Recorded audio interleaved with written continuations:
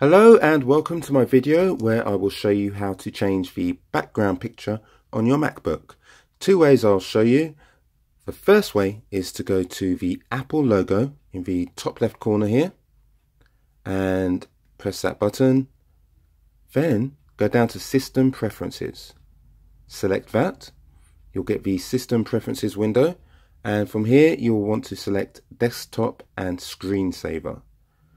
Once you've pressed that button, you will have a couple of options down the left hand side. One is desktop pictures, and you can see some nice beautiful pictures you can select and they pop them or it gets popped straight onto your desktop. The second option is solid colors. If you'd like to select a solid color, you can do so, or you can create your own custom color, like so. Another option is to go to the pictures folder and if you have some pictures you can select one here and that will become your desktop picture. That's method one.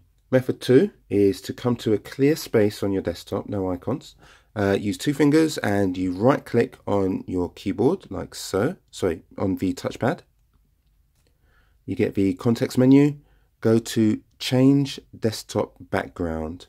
With that selected, press single left key or single click and again it takes you back to the same window where you can choose a solid color or desktop picture or pictures from your own selection or your own collection.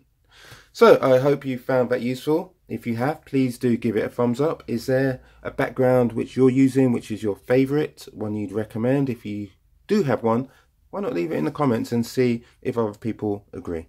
Anyway, Thank you very much for watching. I appreciate you selecting my video and I wish you a good day.